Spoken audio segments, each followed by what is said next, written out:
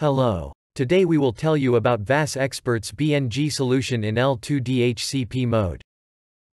L2 mode assumes that the subscriber and the BNG are in the same broadcast domain, where the SSG works with all requests. L2 subscriber traffic is terminated on Stingray Service Gateway and transmitted to border router with VLAN and MAC changed. These parameters define the IP addresses of the service elements involved in the client authorization process. These parameters define the BNG1 interface. These parameters define the interface on the border where the traffic will be directed. In the current version, BNG does not announce the served subnets and NAT pools, therefore, you need to configure the static route from the border to the WAN SSG interface. The PCRF component is responsible for the platform interaction with the operator's billing system via the Radius protocol which is used for AAA. Authentication, Authorization, accounting.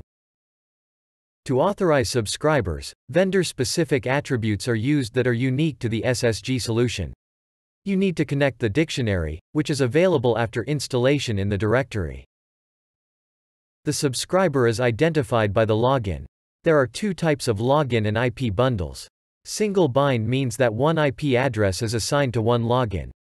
Multi-bind means that multiple IP addresses or subnets are assigned to one login.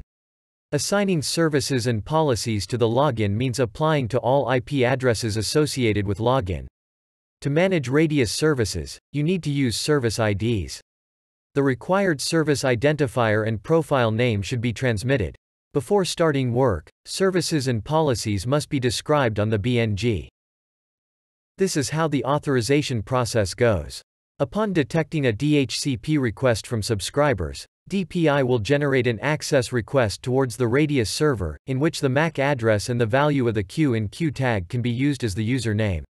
All L2 parameters of the subscriber are transmitted to the Radius server in the corresponding attributes. Upon subscriber's successful authorization, an access accept is sent with the required username fields. Username which defines the subscriber's login. List of services and policing that are enabled for the subscriber. Also, in addition to these services, DPI expects to receive network parameters for the subscriber, IP address, mask, gateway IP address, DNS server addresses, etc. All network parameters of the subscriber are transmitted using VSA. If the subscriber's authorization is unsuccessful, or the subscriber's personal account is out of money, then access reject is transmitted, which must contain the attributes setting the restrictions for the subscriber. The content is similar to access accept, but with a shorter session time.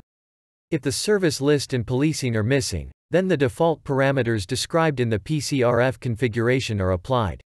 The subscriber's network parameters should be transferred so that the subscriber has access to the captive portal for further payment for services.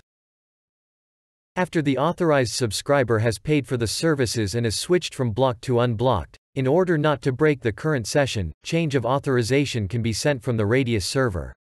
Full COA contains only the changed attributes. This signals the BNG to change only those attributes. To simplify integration, we suggest using simplified change of authorization. This option informs BNG that the user's attributes have changed and a reauthorization is required. Upon receiving such a notification, BNG sends a regular access request to the Radius server. When using a dedicated DHCP server, the framed pool attribute is transmitted in access accept instead of the IP address. Having received this attribute, DPI will form and send a DHCP request to an external DHCP server. BNG is configured via the main configuration files, which are located in the etc. DPI directory. The purpose of each file is indicated on the slide. Statistics, errors, DPI and PCRF diagnostics logs are located in var log DPI directory. The setup process is described in the documentation. Follow the link in the video description. Thank you for your time. Contact us if you have any questions and for test request.